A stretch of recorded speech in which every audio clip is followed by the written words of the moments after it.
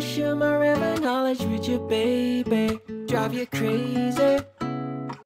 Integrating keyboard shortcuts into your workflow is helpful. Out of the box, the majority of commands in Revit have a shortcut, and as you hover over the icons, these shortcuts will be displayed, but there are some features without. First, let's cover how to set up shortcuts. Navigate to the View tab. To the right, you will see User Interface. Click this, and a drop down will appear. At the bottom, you will see Keyboard Shortcuts. Sure enough, when you hover over, you'll notice there is a keyboard shortcut for keyboard shortcuts. How helpful. Within the dialog box, you'll see a list of Revit commands along with their shortcuts if assigned. The search bar at the top allows you to search for a command, select a command, and at the bottom left there is a text box which allows you to assign keys. Things to consider, you're not salad fingers. For it to be worthwhile and fluent, it's best to have keys close together. It can't conflict with other shortcuts and Revit will prompt you. If it does, I found starting with a number also can cause issues. Here's my personal top 5. Number 1, AB, which I use for coins auto section box. I prefer this to the built-in section box. I probably use this a hundred times a day. Number 2, SV to create a section. Number 3, TT for the trim extend multiple elements tool. This tool is an epic time saver when working with pipe, duct and tray. Number 4, MC for multi-category tags, which if you don't use is another massive tip in itself. And finally number 5, if you've watched my previous video on branching at 45